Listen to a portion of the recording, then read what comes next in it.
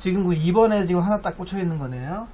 이게 CPU는 2번 슬롯이에요? 네, 1, 2, 3, 4 이거, 그러면 이거 하나 끼고 부팅했을 때 그 CPU Z에 4번 슬롯만 껴있다고 인식을 하더라고요 컴퓨터가 명칭은 어떻게 얘기하느냐에 따라서 좀 달라질 수 있고요. 그러니까 2번, 4번에 꽂았을 때 안 된다 이 얘기잖아요. 네. 그죠?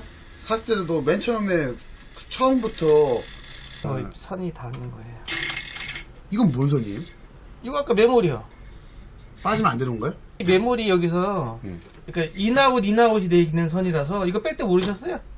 RGB가 in out in out 이런 식으로 나가는 선이라서 원래 있는 거예요. 부팅도 뭐 CPU 팬 쿨러 뭐 에러 뜨면서 이게 옛날에 overclock 이런 걸 했었던 컴퓨터라서 풀어주실 수 있으면은 작, 뭐 어려운 작업 아니면 그냥 아예 풀고 싶고요. 그러니까 CPU 오버를 어떻게 했는지에 따라 달라서 일단 바이오스 초기화 시켜드리면 되는 거예요. 어, 그래? 저는 잘 몰라서 그냥 부팅이 잘 안 돼요. 평소에 컴퓨터가.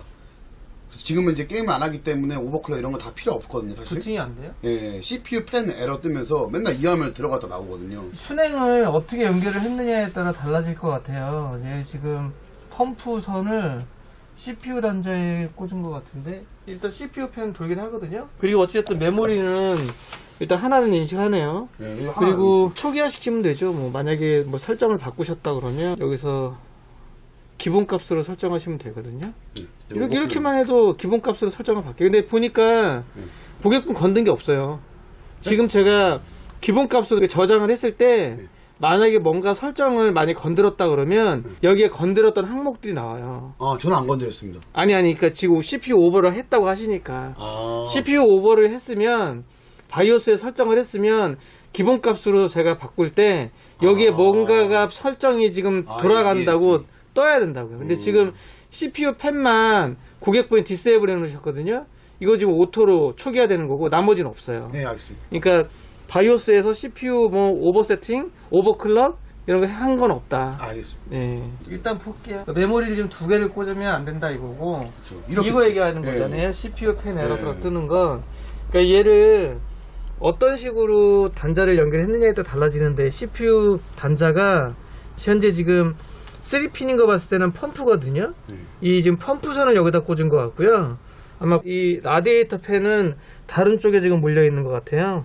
요걸 좀 안 뜨게 해주셨으면 좋겠는데. 설정해서 끄는 수밖에 없어요. 아니면은 연결을 잘못했으면은 다시 연결을 하거나 어디다 어떻게 연결했는지 알 수가 없으니까 이거는 뭐지? 아 의심을 했는데 맞네.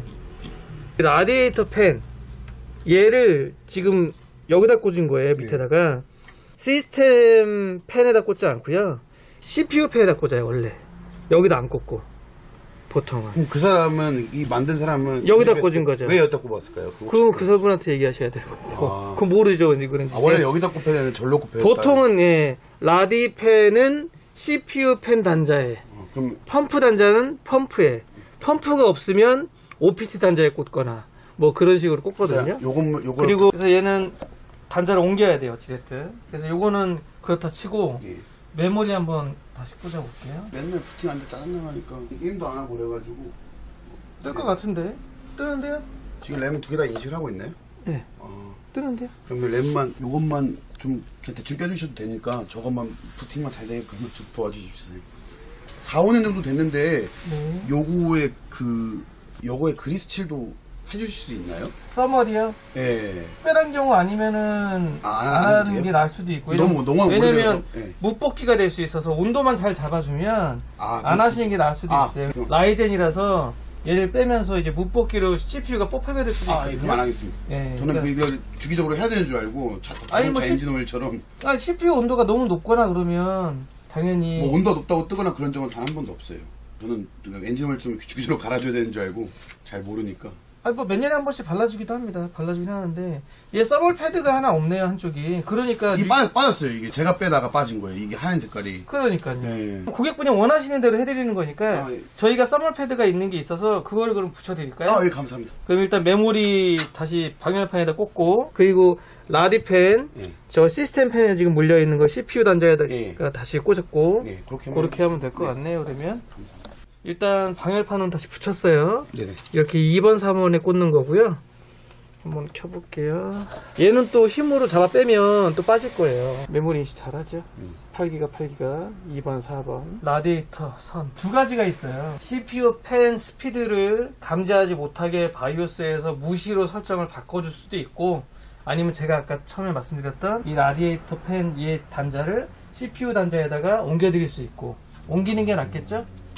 자기 편한 대로 하십시오. 저. 아니 전 제가 편한 게 아니고 네. 이제 고객분이 원하시는 대로 아, 저- 그러니까 저- 원래 하자면 옮기는 게 맞아요 아, 그래서 부팅만 잘 되는 제가 원하는 건 부팅이 잘 되는 겁니다. 다른 보드였다면은 아마 안 떴을 거예요 보드만 3, 3, 40, 30 몇만 원 했던 것 같은데 싸진 않았던 것 같은데 청소를 좀 해야 되겠는데요? 먼지가 너무 많은데요? 좀 컴프레셔로 청소를 좀 해야 되겠는데? 좀. 자, 일단은 원위치 했거든요? 음. 이게 보통 일반적으로 단자 연결하는 방식이에요. 예. 라디에이터 팬. 예. 얘를 보통 CPU 팬에다 꽂고, 그 다음 펌프.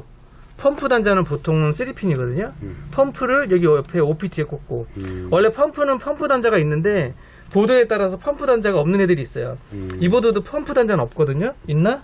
아, 여기 옆- 이쪽에 있네. 여기 보시면 써 있어요. 예. AIO 펌프라고 적혀 있잖아요.